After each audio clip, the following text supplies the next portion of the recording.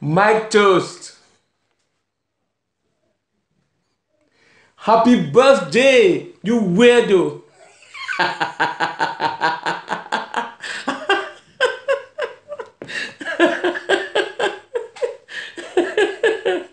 okay.